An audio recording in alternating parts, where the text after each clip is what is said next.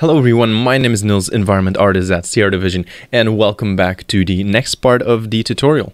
In this part, we'll be covering how to render our asset inside of USD Composer.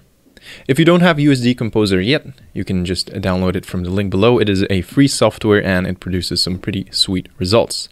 All you have to do is download the NVIDIA Omniverse launcher and scroll down to the app section and download USD Composer. This is located in your library. Um, you can download any version you want. I'm using a older um, version called 2023.2.2, but of course you can do the latest release as well. Nothing will really change um, for settings or any anything we will be covering here. Um, so just use the newest version. Once you've opened up a USD Composer, you will be greeted with this screen. Could be a little bit different according to the version. And the first thing we want to do is change the preferences. So we want to go to Edit and go to Preferences. Then you'll see this check mark and it'll become visible in this little bar here. We want to scroll down to Capture Screenshot and we want to make sure Capture Only the 3D Viewport is checked. What this will do is only capture this window here, so our viewport, and if we didn't have this checked, it would screenshot the entire window. And that's not what we want. So if you want to save it somewhere else, feel free to change the path as well. Some other things you might want to change are the settings over here. So you want to click this icon here, the little sliders. You want to go to viewport and set your render resolution, um, rendering at 4K right now. You have some presets as well if you um, keep it at 4K and you start importing assets and doing your lights, um, maybe the best thing you want to do is change the render scale to 50%, else the performance might get a little bit laggy. So just change it to a lower scale of um, render resolution. Next up, we have our render settings. I'm gonna import a render setting that I have uh, made myself for a different project. Um, it will be downloadable in the description below, so just feel free to just copy it over and then you can click these three little lines here and load these settings and then you can just click on the settings that you saved as a USD file. Once that's done, we want to just change it to RTX real-time. Um, interactive mode is basically path tracing, you can see it here. Iray and Pixar Storm. We won't be using any of these two, we'll just be focusing on real-time and path tracing. But for now, feel free to keep it on real-time so it doesn't have to process the um, samples right here. As you can see, it takes a little while, and with real-time, obviously, it's real-time, so you don't really have to do it. If you want to change some settings yourself, um, feel free to just go ahead and change some render settings here. If you want to change it for real-time, make sure this is checked. For interactive or path tracing, you just change it and you have the settings according to the renderer. Next up, we'll go to stage and we'll check out what exactly we have in a fresh vanilla scene. So we will have a empty and an empty with environment. We can expand it and we can see a sky, a distant light, some looks and a ground and a ground collider. We won't be using the ground and the ground collider, so we can delete it but first we might want to import our asset. So what I will be importing is our model, so what we made, and the dome or the backdrop that we made inside of your DCC software as well. So to import, you can just go to content or you can go to file and click import and then you can just um, navigate to where you saved your files. So I will go ahead and import everything that I will need, so my model and my backdrop. Once we've imported that, we can see that it is quite small and we don't need the ground and ground collider anymore. And we are left with the Model 88. If you select the model, by the way, and you press F, it will focus on your model and you can kind of set the angle already. So what we want to do is go over some um, stuff here. So we have the sky, this is basically an HDRI. As you can see, there's already a texture file here. This is where you want to load up your HDRI. So again, just like we did in Marmoset, if you have an HDRI you want to use or one that you downloaded, feel free to navigate to this folder and browse your desired HDRI file and load it up yourself. Once that's loaded up, you can change some settings. You can change the brightness. You can use um, a color, so a color temperature and you can just change whatever you want to change, but we'll keep it at the default settings. We might not even use a sky dome Okay, cool. So we have a distant light. We don't really want a distant light right now since we're going to add our own light. So you can either make it invisible or you can delete it. So once you've imported all your models, they will be visible here in the outliner or the stage. Um, they will be inside of a group or a folder and we will see our models here. So our model 88 low and if we click the plus icon to expand it, we can see a look folder and all the separate bodies that we have and you can move them and select them just like you would in Marmoset as well. But something else that's um, different to USD Composer is the materials are called looks. And if you expand that, you'll have a little material sphere right here. You can just click on that one and you can see that you basically have a material just like in Marmoset. You can drag in your albedo, your roughness, metalness, etc. So we want to go ahead and do that real quick. So if we go to albedo, we want to drag it in right here from our um, resources folder. So we just drag it into the corresponding slot, albedo. You want to make sure it is set to sRGB. Then if we have a ORM texture, we can just enable it, or you can um, import your roughness and metallic um, separately. But I have an ORM texture, so the roughness and material is packed inside of the one texture. Let's go ahead and import that. The only thing you want to do is change the metallic map influence to 1 and your roughness map influence to 1 as well. Next thing we want to do is add the AO. So we drag it into the AO map. You can have a opacity. So if you want opacity, you can just enable opacity and drag it in as well. All you have to do is enable the opacity texture. The normal map, you can just drag it in as well. So once your material for your model is set up, we can go ahead and change the model for the backdrop itself. So let's say you expand the backdrop and you only have a plane and no looks folder.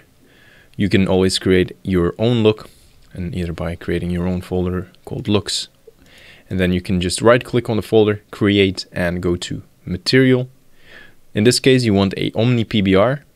If you want a PBR material, just click it and it'll create a folder called looks and the Omni PBR. After that, you just want to change it. Maybe change it to M underscore backdrop to keep it consistent. And then you can apply the material right here. Just click on the backdrop and it'll have applied the M backdrop that we just created. Then you can change the color as well. You can see it'll become brighter. You can change the roughness value yourself. Cool. After that, we might want to set up a camera angle. To create a new camera, we can just go to the perspective camera here, click it, select the camera, and then you can either select a already existing camera if you have multiple, or you can create a new one from your view. Let's say you like this angle, you can create a new one. Then that camera will become active and inside of your camera you will have some settings as well. You have your focal length, your focus distance, your f-stop, and there's a ton of settings all we have to do is change the focal length real quick. So let's change this to 75 and zoom out on the model. Select a pretty cool angle. If you're happy with the camera angle, you can always click on the camera and hover over the icon. And if you click it, it will lock the camera. So if you try to move it, you can't. Now, if you like this angle and you want to start placing some lights or have a better overview, what you can do is go to Window, scroll down to Viewport, and select viewport number two. So having two viewports will give us a better overview if we want to start placing some lights. To add a light, you just right click on your viewport, go to create, go to light, and there's a number of different options, but we'll keep it at a rect light for now. If you click it, the rect light will spawn inside of the viewport, and if you press Z on your keyboard, it'll change the gizmo to the move, and you can just move it around your model. Then you would have to set up a nice angle. So you can rotate the light as well. You can rotate it around. Then you can also change the intensity, of course, um, the height and width of the rectangle. So let's decrease it a little bit in size. Get a tad bit smaller. And we can position it a bit down. You can play around with the lighting. I'll just do it pretty fast. Then if you want to add more lights to the um, scene, feel free to go ahead and add a couple more lights and I'll see you back then. So let's say you're pretty happy with your lights. I just added three rect lights. And one thing I did was change the orientation of the environment. So if you want to rotate your HDRI, you just click on the environment folder and rotate it around. So let's take a closer look at the uh, render we have right now. Of course, some parts are still a bit overexposed, but you can always change that by changing the settings on your lighting. So once you're happy with your lighting setup, you can close the second viewport again and go to real-time or interactive. And one thing you want to do is it will render out the grid as well. And if there's any light icons available in the scene, it will render that out as well. So if you don't want to grid, you can disable grid and it won't show the grid anymore. Show by type, you can disable the lights and it won't show up in the viewport. Awesome. So you can either render this out in real time or you can just click on path tracing and we'll see that it'll start rendering and it'll do the amount of samples that you've um, set up. If you don't want that many samples, you can go to path tracing and click on total samples. I have it set to 1200, but you can always change it um, to a different number as well. So we'll be doing a render with real time and a render with path tracing so you can see the difference. So on the screen here, we will see the difference between real time and path tracing. The left one is the real-time renderer and the right side is the path traced renderer. Of course, this is still at half the resolution of our 4K render. So if you want to make the final renders, so just make sure you change the settings here to viewport and you go back to render scale and set it at a 100%. But for test renders, um, keeping it at a 50 is always great. So let's go back to the differences. As you can see on the path traced render, the shadows are way more sharp and accurate compared to the real-time one. And even small details such as the front of the lens are a lot more clear and more realistic to how it would be in real life as well. So for me, the path traced render is a more um, accurate render compared to the real-time one. So it's all up to personal preference. If you want to keep your renders 100% real-time, just keep rendering at real-time. But if you want to go for a bit more quality and realism. I would render at path traced renders just for a portfolio. It won't be real time, but um, at least they'll look pretty great. So we already did a couple of things. We already have one render, we know how to add lights, we know how to add cameras, we know how to add a model and change the material to it, create new materials, change up the render settings. So let's go ahead and create a new camera and we're gonna go over some depth of field right now for some nice renders as well. So you can go ahead and click your camera, click on Ctrl D on your keyboard, it will duplicate the camera, or you can just right click and go to create and create a new camera from this list here. What we want to do is set up the active camera again and unlock it so we can move it around.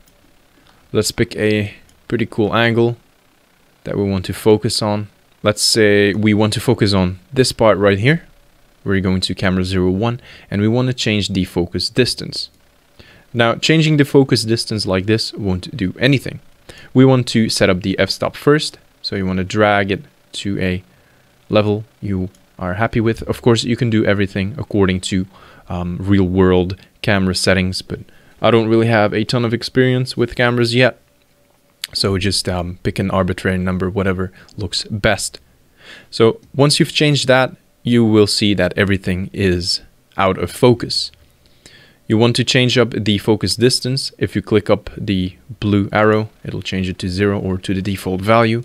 And then you can just click and drag until whatever it is is kind of in focus. Now everything is in focus. That's also not what we want.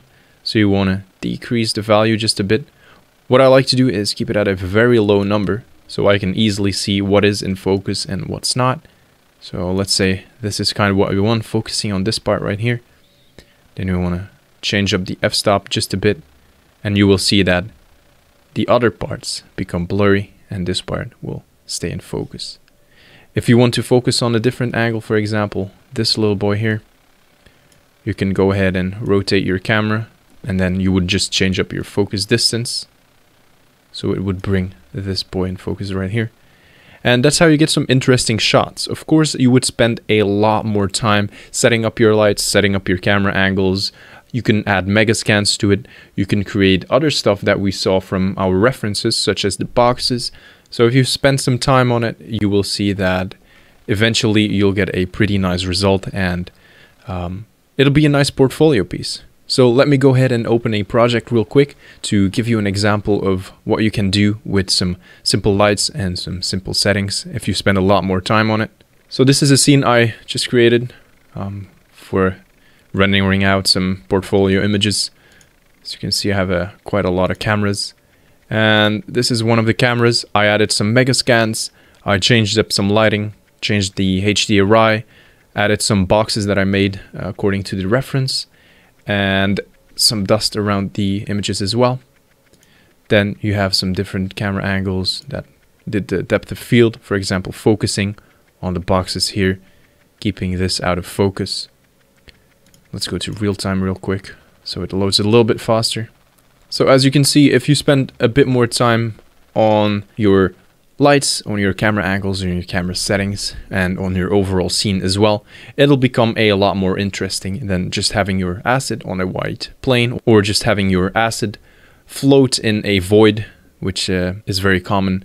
In portfolio images, you would see just the asset floating around in a empty void, but just do some storytelling elements, add some boxes, add whatever is available on your reference, even an instruction manual that you've seen on the uh, reference images as well just spend some time on it, create some nice portfolio images, and we would love to see what you've created with Omniverse or Marmoset.